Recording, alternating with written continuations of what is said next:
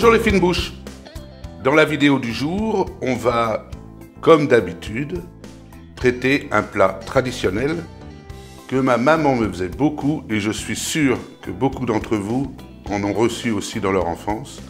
On va faire l'endive au jambon gratiné au four.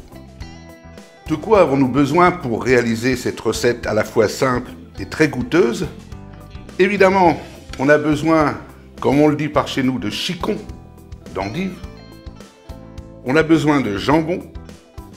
On a besoin de béchamel. J'ai bien dit béchamel et pas mornay. Ne mettez pas de fromage dedans, il y en aura par-dessus après. Donc j'ai préalablement réalisé une béchamel, du gruyère râpé, de la muscade si on veut remettre un peu, mais moi j'en ai déjà mis dans la béchamel, sel, poivre. Petite précision pour l'endive. Moi je l'ai toujours mangée où elle était pré-cuite à l'anglaise dans de l'eau salée. Mais on peut aussi, j'ai testé et c'est très bon, la faire braiser dans une poêle avant de la mettre entourée du jambon et de la remettre au four. C'est votre choix, essayez les deux. Comment on fait? On commence par prendre nos chicons, enlever cette partie-là, le petit trognon, qui est très amer. Ça, c'est toute l'amertume de l'endive. Donc vous faites ça. Si c'est de la belle endive comme ça, du beau chicon qui se tient bien, vous n'avez pas besoin. Sinon, vous mettez un petit morceau de ficelle le temps de la cuisson pour éviter que ça se délite. Je vais mettre ces endives à cuire pendant 10 minutes et on se retrouve juste à cet instant-là.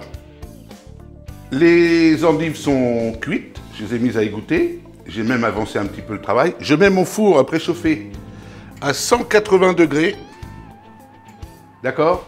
Et ici, je viens et je vous montre, j'en ai déjà fait, je vous montre comment on fait. C'est très simple. Ce qui est important, c'est d'un peu de faire égoutter, parce que vous voyez, même si elles ont déjà été égouttées pendant un petit moment, il y a toujours un peu d'eau. Moins il y a d'eau là, moins votre euh, béchamel sera euh, imbibé pendant la cuisson et donc ça restera plus de la béchamel. Vous la prenez, vous prenez la, la tranche de jambon et là il faut essayer, sans trop abîmer, de compresser un peu en enroulant et on vient la poser dans le plat. Une fois qu'on a réalisé tout cela, on prend, on n'a pas besoin de ressaler, ça c'est déjà assez salé, et puis il y en a déjà là-dedans. Par contre, on peut mettre un petit peu de poivre si on veut. C'est vraiment au choix, au goût. On prend notre béchamel, on l'étale bien dessus. Alors, évidemment, je ne l'ai pas précisé, mais le jambon, c'est un jambon blanc. Ne faites pas ça avec du jambon fumé. Je pense pas que ce soit très bon, ni pour le jambon, ni pour l'endive, ni pour votre palais. Mais vous prenez un bon jambon blanc, découiné si possible, et puis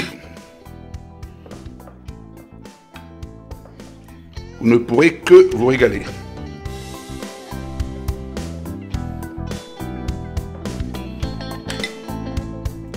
Là, au choix, muscade ou pas. Et ensuite, on remet par-dessus du gruyère. On n'hésite pas. Ça fait partie de la saveur du plat.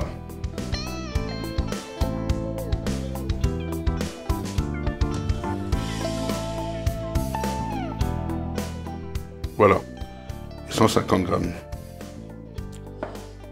Dès que le four va faire bip bip, je suis chaud, on enfourne pour 20 minutes. On touche pas, on n'ouvre pas pendant 20 minutes.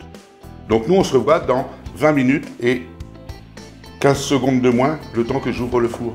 A tout de suite un chicon, con, con, les petites endivettes. Euh, en fait, c'est la sonnerie du four. J'essaye de créer une musique de sortie du four qui soit propre euh, à notre chaîne.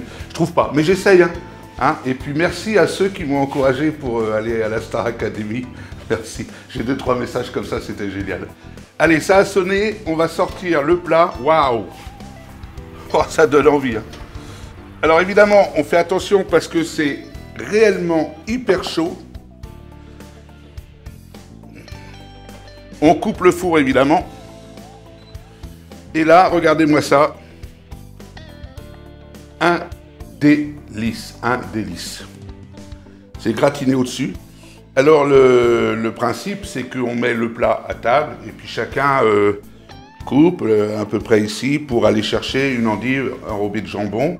Puis on se les partage. Là, c'est pour quatre ou c'est pour deux Gilbert, oui Voilà les fines bouches.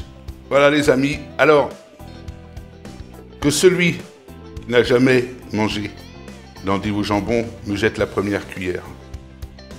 Moi, aujourd'hui, je ne vais pas traîner. Je vais vous dire à vos couteaux, à vos fourchettes, bon appétit, parce que j'ai un petit compte à régler avec un morceau de chicon jambonné qui me nargue avec ses petites odeurs depuis tout à l'heure. À très vite. Alors, tout se passe bien?